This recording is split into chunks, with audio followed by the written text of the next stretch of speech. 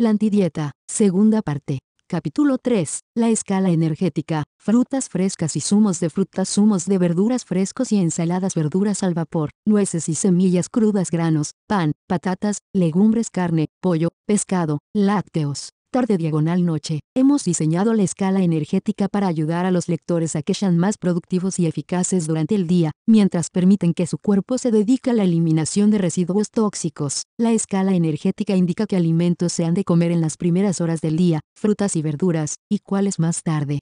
Cuando se ha cumplido ya el trabajo del día y es posible descansar y permitir al cuerpo que concentre la energía restante en la digestión de patatas, cereales, productos lácteos y carnes.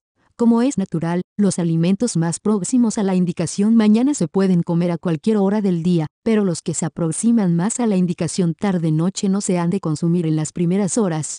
Cuando la energía se necesita para otras cosas, quien siga un horario individual diferente del normal, por razones de trabajo nocturno, por ejemplo, verá que los ciclos corporales se adaptan a ese horario, si es constante. Aunque hay poca documentación sobre el tema, nuestras observaciones indican que es así. Un día determinado en que no se consuma más que frutas y verduras, y en que no se coma carne, cereales ni productos lácteos, será un día de máxima energía y máxima pérdida de peso. Los menús que ofrecemos en la muestra están basados en la escala energética, y en ella deben basarse también los que el lector confeccione por sí mismo.